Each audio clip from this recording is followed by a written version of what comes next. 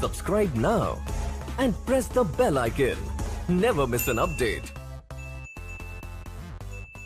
दोस्तों, मशहूर तेलुगु अभिनेता नितिन रेड्डी ने अपनी मंगेतर शालिनी कंडुकुरी से बुधवार की सुबह हैदराबाद में सगाई कर ली अपने ट्विटर अकाउंट से उन्होंने इसकी जानकारी दी दोनों की सगाई की रस्म हाल ही में संपन्न हुई सगाई की फ़ोटो शेयर करते हुए नितिन ने अपनी एंगेजमेंट की खबर फैंस के साथ साझा की सामने आई तस्वीर में नितिन शालिनी को अंगूठी पहनाते हुए दिखाई दे रहे हैं। कोरोना काल में नितिन और शालिनी के परिजनों ने बेहद सादे समारोह में चंद लोगों के बीच सगाई की रस्में अदा की। नितिन और शालिनी की सगाई के बाद इनकी तस्वीरें सोशल मीडिया पर वायरल होने लगी है। यह जोड़ी पिछले आठ सालों से रिलेशन में है।